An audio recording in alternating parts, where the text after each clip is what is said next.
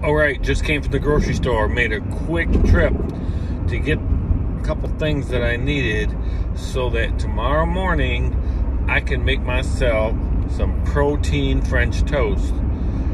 Have you had it? It's really good. You know what I noticed in the uh, grocery store? A bunch of freaking water buffalo dragging along, just gigantic people laying on their cart, can barely push it down the aisle as they load it up with everything that kills you. All the fat cookies, donuts, sugary sodas, you know, just barrels, cokes lined up on the cart to stick in their fat face. How about getting some exercise? How about getting out of your house? How about thinking about what you put in your body? 2023 needs to be different.